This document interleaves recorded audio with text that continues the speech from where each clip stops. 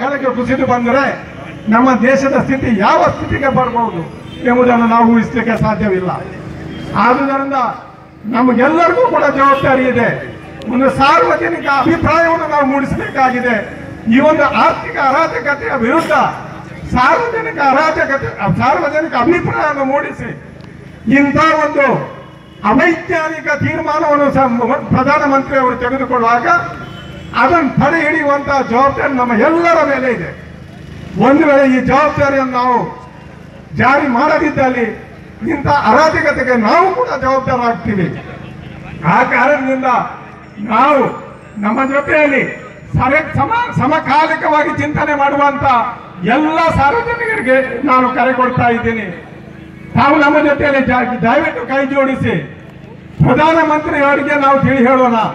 ಏನು ತಾವು ಮಾಡುತ್ತೀರಿ? ಇದು ನಮ್ಮ ದೇಶವನ್ನು ಅವನತಿಗೆ ಕೊಂಡು ಹೋಗ್ತಾ ಇದ್ದೀರಿ.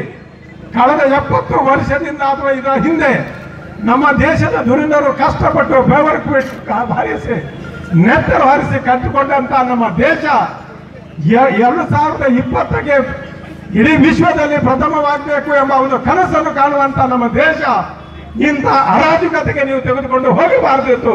ಮತ್ತು ಮುಂದೆ ನೀವು ಹೋಗಿದ್ರೆ ನಾವು ಖಂಡಿತವಾಗಿ ನಿಮಗೆ ಶ್ರಮಿಸುವುದಿಲ್ಲ ಇದಕ್ಕೆ ನಿಮಗೆ ಅವಕಾಶ ನಾವು ಖಂಡಿತವಾಗಿ ಕೊಡುವುದಿಲ್ಲ ಎಂಬುದು ಖಡಾಖಂಡಿತ ಮಾತನ್ನು ಪ್ರತಿಯೊಬ್ಬ ನಾಗರಿಕರು ಕೂಡ ನಮ್ಮ ಪ್ರಧಾನಮಂತ್ರಿ ಅವರಿಗೆ ತಿಳಿ ಹೇಳಬೇಕತಕ್ಕದ್ದು ಇದನ್ನು ನಾವು ನಿಲ್ಲಿಸುವ ಪ್ರಯತ್ನ ಮಾಡೋಣ. ಇವತ್ತಿಗೆ ಈ ಜನ ನಾವು ಏನು ಸೇರಿದ್ದೀವಿ ಇದು ಸಾಂಕೇತಿಕವಾಗಿ ನಾವು ಸೇರಿದ್ದೇವೆ. ಹಳ್ಳಿ ಹಳ್ಳಿಗೆ ಈ ಒಂದು ಸಂದೇಶವನ್ನು ತೆಗೆದುಕೊಂಡು ಹೋಗೋಣ. ಪ್ರಧಾನಮಂತ್ರಿ ಅವರು ಮಾಡುವಂತಹ ಅವೈಜ್ಞಾನಿಕ ತೀರ್ಪುಗಳನ್ನು ಕ- ತೀರ್ಮಾನಗಳನ್ನು ನಿಲ್ಲಿಸೋಣ. ನಮ್ಮ ದೇಶವನ್ನು ಪುನಃ ನಾವು ಕಟ್ಟಲಿಕ್ಕೆ ನಮ್ಮ ಪ್ರಯತ್ನವನ್ನು ಮಾಡೋಣ ಕಾಂಗ್ರೆಸ್ ಪಕ್ಷವು ಮತ್ತು ಕಾಂಗ್ರೆಸ್ ಸರ್ಕಾರವು ನಮ್ಮ ದೇಶವನ್ನು ಹೇಗೆ ಸ್ವಾತಂತ್ರ್ಯವನ್ನು ಕೊಟ್ಟಿದ್ದ ದೇಶಕ್ಕೆ, ಇವತ್ತು ಆರ್ಥಿಕ ಸ್ವಾತಂತ್ರ್ಯವನ್ನು ಕೂಡ ಕೊಡ್ಲಿಕ್ಕೆ, ಸಮರವನ್ನು ಹೊಡಲಿಕ್ಕೆ ನಾವು ಇಡೀ ಪಕ್ಷ ತಯಾರಾಗಿದ್ದೇವೆ ನಮ್ಮ.